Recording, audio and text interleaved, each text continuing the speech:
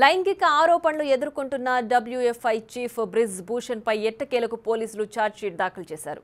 పలు సెక్షన్ల కింద ఆయనపై కేసులు నమోదు చేయగా మరో కొత్త ట్విస్ట్ ఈ ఛార్జ్షీట్ ద్వారా వెలుగులోకి వచ్చింది. వెయ్యి పేజీల ఛార్జ్షీట్లో ఏముంది? పోలీసులు తేల్చిందేంటి?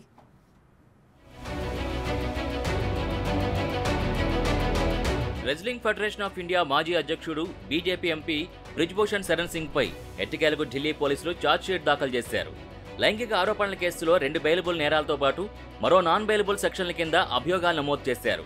మొత్తం వెయ్యి పేజీల భారీ ఛార్జ్షీట్ షీట్ను కోర్టుకు సమర్పించారు.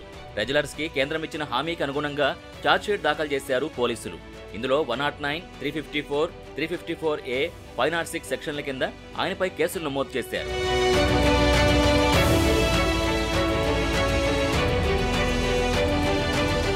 అయితే ఈ లైంగిక వేధింపుల ఆరోపణలు ఎదుర్కొంటున్న బ్రిజ్భూషణ్కి పోక్సో కేసులో ఢిల్లీ పోలీసులు క్లీన్ చిట్ ఇచ్చారు.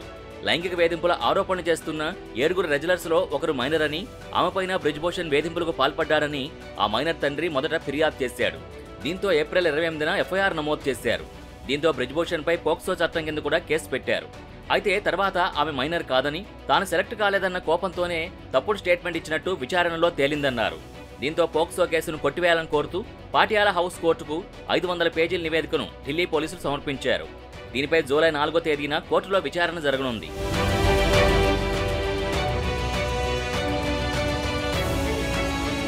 రెజ్లింగ్ ఫెడరేషన్ ఆఫ్ ఇండియా చీఫ్గా ఉన్న ఉన్న బ్రిజ్భూషణ్ మహిళా రెజ్లర్స్పై లైంగిక వేధింపులకు పాల్పడ్డారని గత కొన్ని నెలలుగా అగ్రశ్రేణి రెజ్లర్లు తీవ్ర ఆందోళన చేపట్టారు.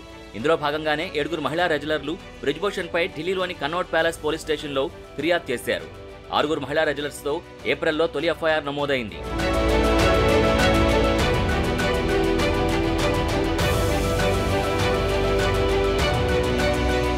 ఇటీవల కేంద్ర క్రీడా శాఖ మంత్రి అనురాగ్ ఠాకూర్తో రెజ్యులర్లు సమావేశమయ్యారు.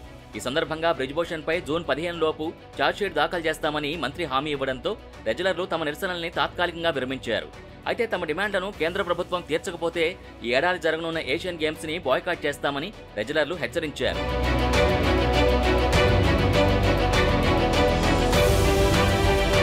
మరోవైపు రెజ్లింగ్ ఫెడరేషన్కు ఎన్నికలు నిర్వహించనున్నట్టు ఇండియన్ ఒలింపిక్ అసోసియేషన్ వెల్లడించింది.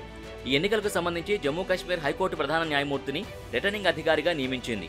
జూలై ఆరున రెజ్లింగ్ ఫెడరేషన్ ఆఫ్ ఇండియాకు ఎన్నికలు నిర్వహించి కొత్త ప్యానెల్ ఎన్నుకోనున్నట్టు వెల్లడించింది.